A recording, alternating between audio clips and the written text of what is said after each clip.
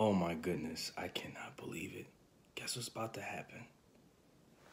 He said, she said, Charlotte.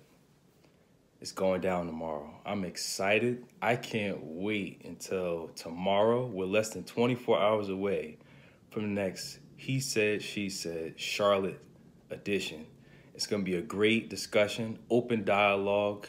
Those that already have attended, that's coming back, welcome back. Those that are coming for the first time, welcome. Welcome to the family. We're going to sit, we're going to have a really good, open, and honest dialogue on relationships. Now, some of the people that may be leery about the the discussion, maybe or or may be interested and not sure if you even want to go or even if you could go.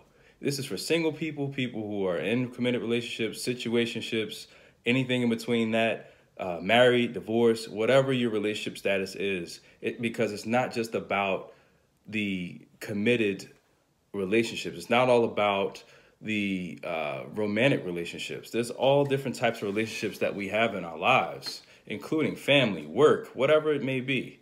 When you came out of your mother's womb, that is a relationship in of itself. So if you came out of a womb, come through. It's free. It's at the Cone University Center on the campus of UNC Charlotte. That's 9201 University City Boulevard, Charlotte, North Carolina 28223 check it out. The, there's a parking deck right across that's actually connected to the building.